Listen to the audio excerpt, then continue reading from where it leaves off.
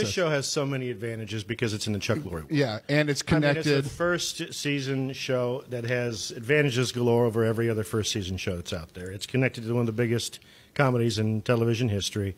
Um, so that's going to give it legs. People are going to give it a chance more than they would other shows Yeah. just because of that. It's Chuck Lorre. Um, they're going to do what he wants because he's a proven uh, success maker, you know. And uh, so just to be involved in, in that, to get a piece of that, and to get a piece of like the network television paradigm that is kind of a dinosaur and drifting away, to get a hunk of that like old school TV money and those old school TV contracts um, is uh, absolute uh, triumph.